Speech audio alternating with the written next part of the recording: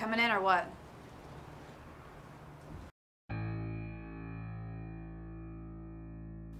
Ready to do that? Who else?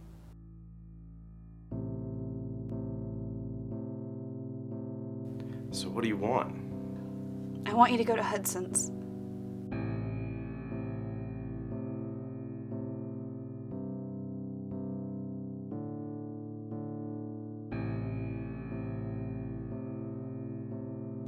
You were my best friend, and you took the only thing in the world that mattered to me away.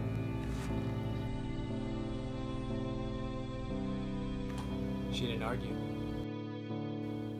He has something that I want back. I want you to get it. I can't.